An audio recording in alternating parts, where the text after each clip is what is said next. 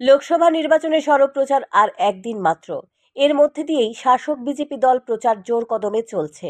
মঙ্গলবার পশ্চিম ত্রিপুরার লোকসভা আসনের বিজেপি মনোনীত প্রার্থী বিপ্লব দেবের সমর্থনে চোদ্দ বাধারঘাট বিধানসভা কেন্দ্র থেকে এক সুবিশাল পদযাত্রার আয়োজন করা হয়।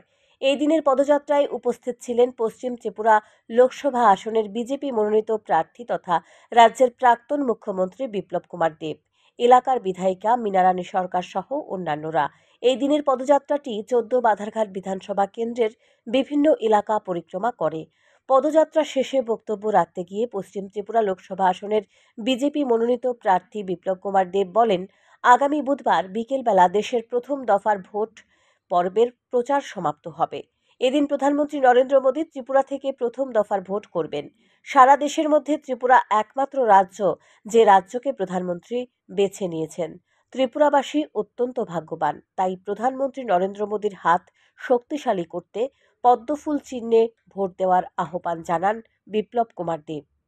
শহর সেখানে পদযাত্রা, বাইক র্যালি ও তার মাধ্যমে মাননীয় প্রধানমন্ত্রী নরেন্দ্র ভাই মোদীকে তৃতীয়বারের মতো ভারতের প্রধানমন্ত্রী বানানোর জন্য যে অঙ্গীকার বিশ্বাস জাতিয়েছেন, তার জন্য আপনাদেরকে আমি অনেক অনেক শুভেচ্ছা জানাই।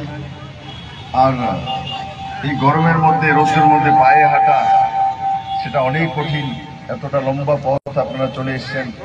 আমি আপনাদের ধৈর্য এবং আপনাদের জোশকে প্রণাম করি এবং আমি বিশ্বাস করি আপনাদের মাধ্যমে আগামী উনিশে এপ্রিল হান্ড্রেড পার্সেন্ট ভোটিং করে মাননীয় প্রধানমন্ত্রী নরেন্দ্র ভাই মোদীকে তৃতীয়বারের মতো প্রধানমন্ত্রী এবং আমাদের যে একটা লক্ষ্য আয়োজিত রোড শোতে উপস্থিত ছিলেন কয়েক শতাধিক কর্মী সমর্থক।